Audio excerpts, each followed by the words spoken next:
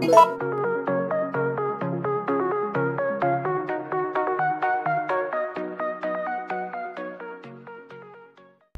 hai teman-teman, welcome to Ryuko Gaming. Dan hari ini aku kembali ke tutorial FIFA lagi teman-teman ya. Jadi sesuai requestan kalian, ini dia. Jadi kemarin kalian ada yang minta, Bang coba bahas dong development plan. Jadi ini adalah tutorial dasar, basic teman-teman ya.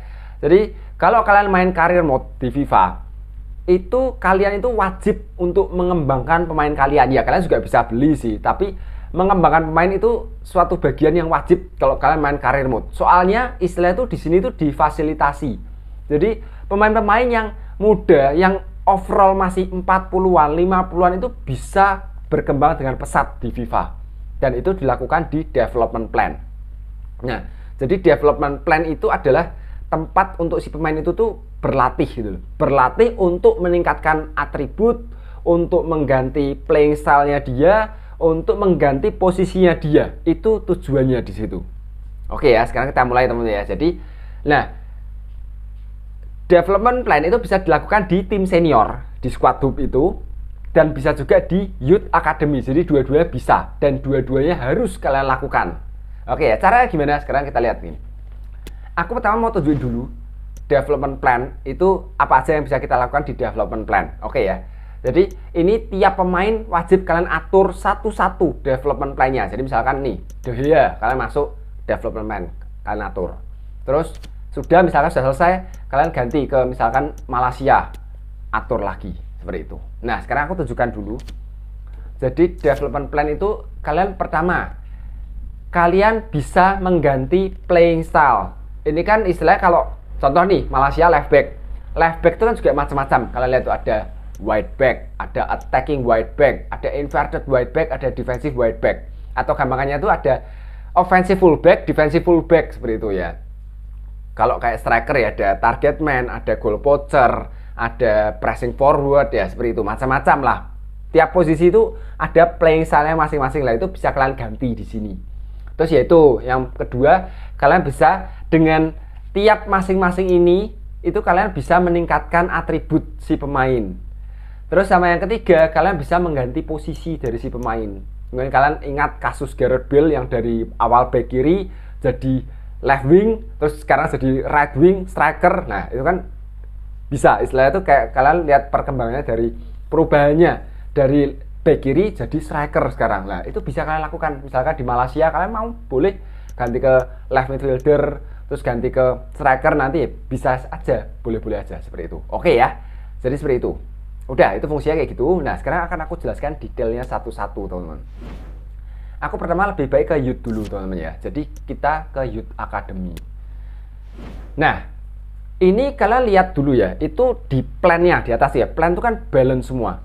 Kalian kalau awal main itu pasti semuanya balance. Di youth academy balance semua. Di squad dub di squad senior itu juga balance semuanya. Nah itu nggak boleh teman-teman ya.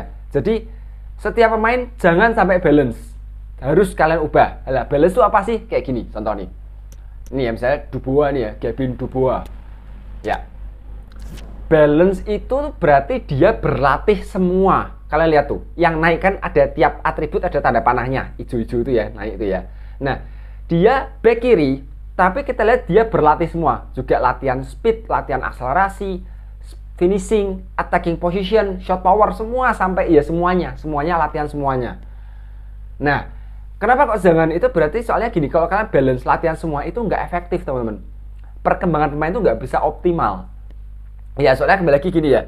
Kan eh, setiap pemain itu kan pasti ada apa ya bisa bilang tuh latihan itu kan juga ada istilah itu gimana ada porsinya kan. Nah kalau porsinya harusnya misalnya 5 dipakai buat ya menyerang ya bertahan ya untuk stamina ya untuk passing kan nggak efektif lebih baik dari 5 itu gunakan untuk bertahan semua kalau back ya nggak Contoh nih dia uh, Dubois. Gini deh, gini deh. Dalam setiap minggu kan ada tujuh hari, Senin sampai Minggu. Nah, misalkan tiap hari latihan, tiap hari latihan. Kalau sistemnya kayak gini, berarti kan dia dibagi-bagi.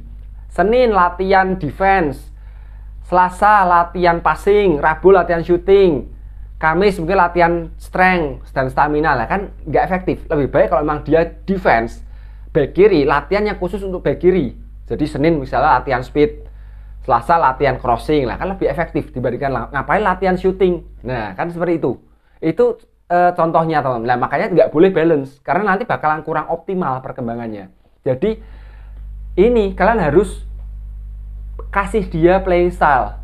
Nah contoh wing back. Nah jadi dia back kiri, latihlah jadi wing back atau attacking wing back. Kalian mau mau posisikan si pemain itu sebagai apa?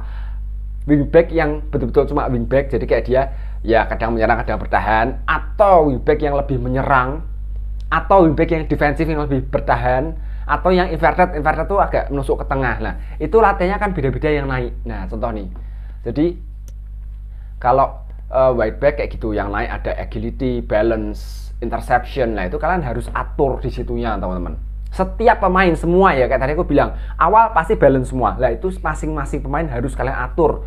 Baik yang di youth academy maupun yang di squad hub yang squad senior. Semuanya harus kalian atur. Nah tapi tunggu teman-teman. Tunggu dulu tunggu dulu.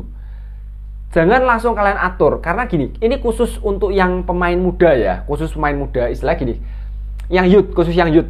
Lebih lebih prioritasnya lebih yang youth. Itu hampir semua ya. Itu kalian harus lihat dulu. Istilahnya kalian kalau kalau kayak Luke Shaw itu kan kalian tahu. Dia Luke Shaw memang back kiri. Tahu kan? Pasti kan tahu. Shaw back kiri Malaysia back kiri. Terus uh, misalkan Anthony sayap. Kan kalian sudah tahu jelas memang dia memang bisa dan jago bermain di posisi itu. Tapi misalkan kayak gini sekarang aku lihat Gavin Dubois kalian yakin Dubois itu back kiri. Nggak tahu kan. Kalian nggak kenal kan. Aku sendiri juga nggak kenal. Aku sendiri juga nggak tahu dia betul-betul bisa back kiri atau enggak ini kan pemain baru dari datangin pemain muda baru. Tahu-tahu ada scouting. Ini lo bagus. Ambil. Kita nggak tahu gitu ini ada Barton. Ini dia apakah dia betul-betul back kiri? Mich Mitchell apakah dia betul-betul center back? Nggak tahu teman-teman. Nah makanya itu kalian ini ya ini harus ya teman ya. Kalian jangan terima mentah-mentah uh, posisi awal dari si pemain. Jadi kalian jangan terus ya udah dia back kiri back kiri langsung. Jangan kalian terima mentah-mentah. Jadi kalian harus uh, jeli. Kalian sebagai di sini kan kalian main karirmu tuh kalian sebagai seorang pelatih ya. Nah itu kalian harus jeli melihat. Contoh kayak kasusnya Gareth Bale lah. Awal Gareth Bale back kiri tapi kan ternyata potensinya sekarang sebagai striker nah itu kalian jangan terima mentah-mentah di situ nah maksudku gini contoh ya aku contohnya misalnya gini uh, coba ini ya Butcher Alice Butcher Nah, dia posisi awal left back. Overall 46. Potensialnya 71 sampai 94. Nah, kalian coba lihat dulu development plan. Ya. Nah, kalian lihat di atribut yang gede. Ada pace, shooting, passing, dribbling, defending, physical. Nah, di situ kalian lihat eh, atribut yang tertinggi apa? Kalian lihat ada pace sama ada dribbling. Nah, itu coba kalian ganti posisinya teman kalau itu kan lebih cenderung menyerang kan berarti kan kayak pace-nya tinggi dribblingnya juga bagus kemungkinan dia akan cocok sebagai left midfielder atau left wing dan kalian juga lihat ininya estimate time-nya tuh ETA-nya nah misalkan ya aku ganti ke left midfielder 11 minggu teman-teman. 11 minggu. Terus coba lihat lainnya 11 minggu. Dia 11 minggu semua. Nah mungkin coba aku lihat lainnya dulu ya. Right back dia dua minggu malah cuma dua minggu ya. Itu kalian bisa coba kalau mau ganti ke right back. Coba aku mau iseng-iseng coba aku ganti ke left midfielder oke ya. Coba aku contoh yang lain habis ini misalnya aku mau lihat ini Weber teman-teman ya oh ini ini ini coba ini ya Alexander Hernandez oke dia CM oke ya CM overall 49 Terus kalian lihat atributnya juga mirip ya CM tapi dribblingnya bagus. Coba aku akan ganti ke posisi sama left midfielder atau atau left wing. Aku coba ke left midfielder. Ya. Jadi gini kalian juga e, cara gampangannya kalau kalian susah ngeliat ini apa namanya e, yang bagus yang mana pace-nya segini, dribblingnya segini. Gampangannya lihat di ETA-nya. Istilahnya kalau lebih sedikit waktu untuk dia bisa menguasai itu lebih sedikit itu berarti dia mendekati posisi naturalnya maksud ya misalkan dia CM ini ya misalnya lah aku ubah sebagai contoh sebentar sebentar sebentar nah contoh nih kalau aku ubah sebagai DM, dia nggak bisa berarti teman-teman. Kenapa aku tahu nggak bisa? Karena kita lihat tuh, dia untuk menguasai posisi CDM itu dia butuh waktu 112 minggu. Berarti kan lama ya, istilahnya dia untuk belajar posisi itu lama. Berarti kan dia itu posisi yang betul-betul baru buat dia, dia nggak terlalu menguasai. Lah bandingkan kayak misalkan aku, nah contoh aku ubah ke left midfielder, cuma butuh waktu dua minggu, berarti dia cepet kan belajarnya. Baru belajar dua minggu aja sudah bisa. Berarti kan itu dia posisi naturalnya. Itu caranya untuk kalian melihat untuk tahu. Jadi mana posisi natural yang posisi sebenarnya buat dia. Nah coba aku ke left midfielder maksud ya semua kalian gituin teman-teman. Semuanya harus kalian utak atik kayak gitu. Nih contoh lagi nih. Ini ini kayak lumayan ekstrim nih. Coba ya kalian dia CM tapi syutingnya bagus. Kalian lihat tuh. Dia CM tapi syutingnya istilahnya tuh gini atribut terbaik kan pace 69 tapi shooting termasuk yang terbaik 53 dibandingkan dengan CM passingnya cuma 39 nah coba kalian aku kok cenderung striker nih mungkin. Striker atau sayap 11 minggu ya. Aku coba ke striker teman-teman. Kayak aku ke striker aja karena shootingnya lumayan. Oke ya nah terus kalian lakukan semuanya ke seluruh pemain kalian. Oke ya. Nah oke teman-teman. Ini beberapa sudah jadi ya jadi kita lihat sama-sama ya. Kita lihat sama-sama kita lihat ya. Ini dia. Dubois dari LWB jadi center back dari overall 52 kita lihat. Naik jadi 54 lumayan kan teman-teman? Nah gini setelah naik kan dia sudah jadi center back sekarang.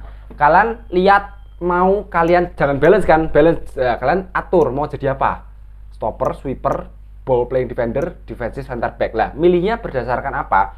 Kalian lihat berdasarkan atributnya kalian mau memposisikan dia tuh sebagai apa playing style-nya dan juga lihat di atasnya kalian lihat tuh teman-teman. Ada skill moves weak foot attacking work rate sama defensive work rate. Nah kita lihat dia sebagai seorang back defensive work rate-nya masih rendah masih medium. Kita buat jadi high lah.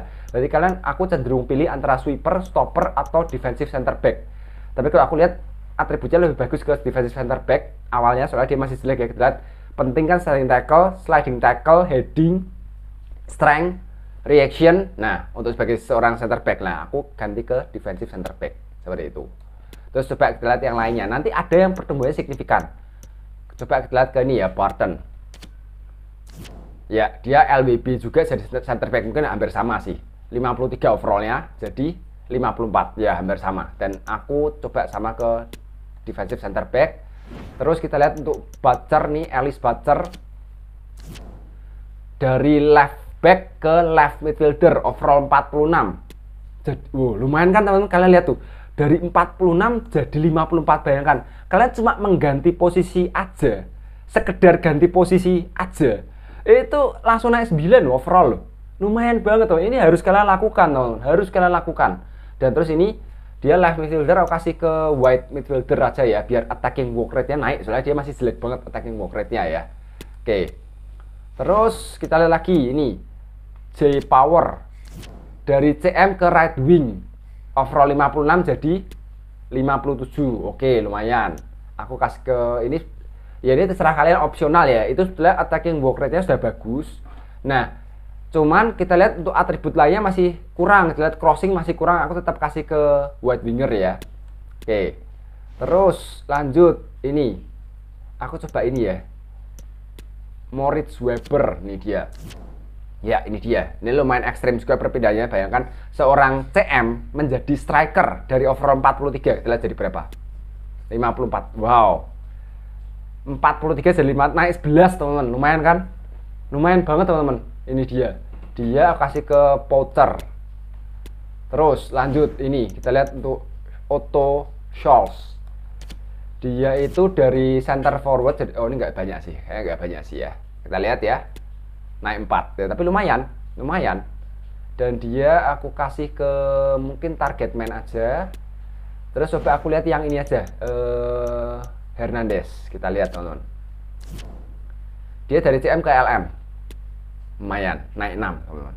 Oke ya white midfielder. Nah seperti itu. Jadi itu pertama yang harus kalian lakukan untuk youth-nya untuk di development plan. Kalian harus kembali lagi tadi harus jeli melihat potensi posisi dari pemain-pemain youth. Itu dia yang pertama kalian lakukan. Oke ya.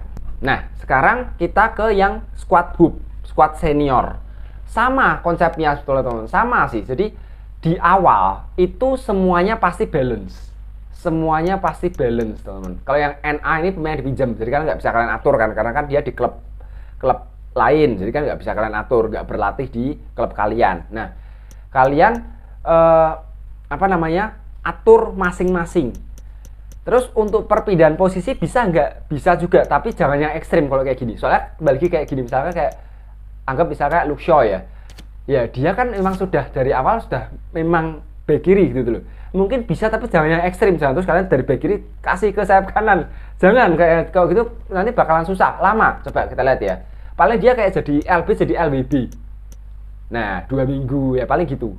Left midfielder lama nggak bisa. 124 minggu biasanya itu kalau ganti posisi itu lebih cenderung ke pemain muda kalau pemainnya sudah tua, istilah sudah umur 27, 2, sudah sudah berumur lah, sudah matang gitu ya. Dia kayak sudah nyaman di posisi itu. Jadi kayak untuk pindah posisi, kalau yang terlalu ekstrim dikit itu udah lama banget gitu loh. Paling ini kayak kayak tadi LB jadi LBB masih oke okay, dua minggu. Tapi kalau yang terlalu jauh udah nggak bisa tuh sudah wah panjang banget kayak tadi berapa tuh 100 berapa minggu kan lama banget. Terus lainnya harus kalian atur semua teman-teman untuk itu. Ya contohnya kayak yang muda-muda sih misalkan Lisandro nih, Lisandro Martinez. 24 ya masih oke okay lah. Tapi kalau ganti posisi paling yang masih mendekati lah dia ah, Lisandro. Oh iya bener, Lisandro CB kan. Dia bisa DM kayaknya. Nah, dua minggu kan. Nah, kayak gitu. Yang deket-deket aja gitu loh. Seperti itu. Dan jangan lupa kalau yang sudah sudah oke, okay, misalkan Lisandro sudah oke okay, center back, harus kalian atur jangan balance kayak tadi. Kalian lihat di sini ya kalian bisa lihat dari atributnya berdasarkan atribut semuanya atau berdasarkan itu. Kayak dia defensive work rate-nya sudah bagus. Mungkin kalian bisa latih ke ball playing defender supaya weak foot-nya bisa naik. Seperti itu. Dan kalian juga lihat dari uh, atribut di bawahnya seperti itu teman-teman. Nah kalian atur seperti ini.